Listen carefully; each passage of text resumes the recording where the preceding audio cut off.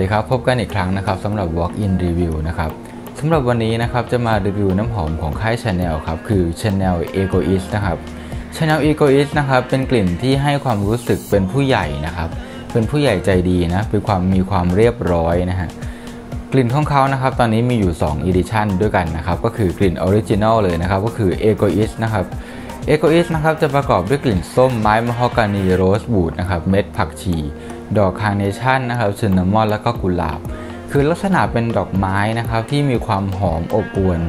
นวลๆนนะครับแล้วประกอบไปด้วยเครื่องเทศแซมนะครับซึ่งค่อนข้างเครื่องเทศเนี่ยจะหนักที่ cinnamon เนี่ยได้กลิ่นแรงมากเลยคือ cinnamon นะครับแล้วก็จะมีความเป็นหนังนะครับซึ่งจะออกหวานนิดๆนะครับมีความเป็นวานิลา มีใบยาสูบมี amber นะครับแล้วก็มี sandalwood คือลักษณะเป็นลักษณะบุคลิกของผู้ชายสุขุมนะครับแล้วก็ มีความเป็นผู้ใหญ่มีความใจดีนะครับ อืมเป็นกลิ่นที่แก่ไหมกลิ่นนี้ต้องยอมรับเลยนะว่าเป็นกลิ่นที่ถ้าเกิดว่าผู้ชายที่อายุประมาณ 20 กว่ากว่า 30 ต้นต้น30 ปลายปลายเนี่ย30 ต้นต้นแล้วกันนะครับ ก็เวลาใช้ก็อาจจะรู้สึกดูมีอายุแล้วก็ดูสไปซี่มากเกินไปนะครับเพราะว่ากลิ่นเนี่ยจะออกแนวเป็นชินนามอนใช่ไหมก็จะกลิ่นออกหนักแน่นนะครับ คือมันหนักแน่นเกินไปสำหรับอออายุแบบน้อยๆนะครับ เด็กมหาลัยนี่คิดว่าใช้นี่น่าจะยากเหมือนกันนะเพราะว่ากลิ่นจะออกแก่ไปเลยทีเดียวนะแล้วก็แต่อันนี้นี่เหมาะกับใครครับ ถ้าเกิดว่าคุณอายุประมาณ 30 36 37 อะไรเงี้ยขึ้นไปแล้วอะไรเงี้ยครับกลิ่นนี้นี่เหมาะมากครับ เพราะว่า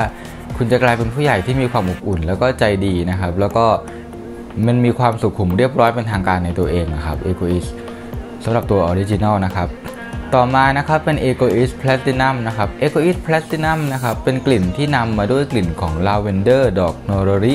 ดอกไม้ขาวเจอร์เนียมมะลินะครับเอ่อแล้วก็มีแซมๆด้วยโรสแมรี่หน่อยๆนะครับ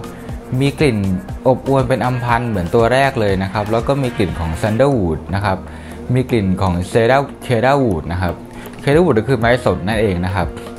มีกลิ่นของหญ้าแฝกนะครับโอ๊กมอสนะครับ ซึ่ง จะให้ความรู้สึกเนี่ยเป็นกลิ่นที่มีความสงบนะครับมีความหนุ่มขึ้นมาจากกลิ่นแรกนะครับ ก็คือสามารถใช้ได้ตั้งแต่อายุ 20 กว่าๆเลยทีเดียวนะครับสำหรับตัวนี้นะครับ เด็กมหาลัยก็ยังไม่แนะนำอยู่ดีครับเพราะว่ากลิ่นนอกจากเนื่องจากกลิ่นมันมีความสุขุมเยอะไงมันก็เลยไม่ค่อยเหมาะกับเด็กเท่าไหร่เพราะว่าอาจจะดูไม่สดใสนะครับคือกลิ่นเนี่ยจะไม่ได้ออกเป็นซีตรัสอะไรสดใสเลยคือซีตรัสเนี่ยสำหรับ Egoist Platinum นะไม่มีกลิ่นโนซีตรัสเลย คือจะเป็นกลิ่นดอกไม้ล้วนๆเลยครับ คือมันจะคล้ายๆน้ำหอมผู้หญิงนะแต่ว่าอันนี้มันออกแมน เพราะว่ากลิ่นของเขาเป็นกลิ่นลักษณะหอมนวลๆนะครับแป้งๆเป็นกลิ่นหอมดอกไม้ขาวอะคือ ถ้าใครนึกไม่ออกก็ลองไปดมดอกมะลิผสมดอกดมพวงมาลัยดูก็ได้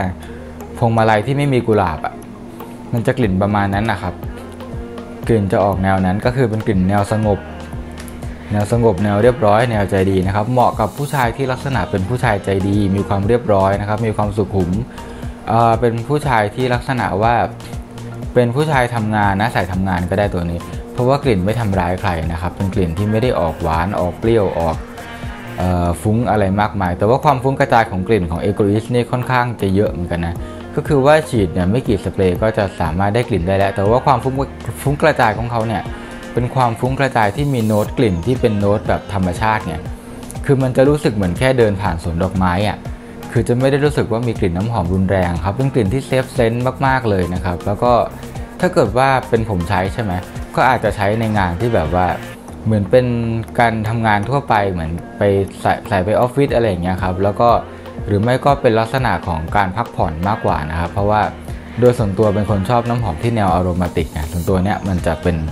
อารมาแบบเหมือนปลูกดอกไม้ไว้หน้าบ้านมากกว่าอะไรประมาณนี้วันนี้นะครับก็ขอจบการรีวิวเพียงเท่านี้ครับ แล้วพบกันใหม่ครับ บ๊ายบาย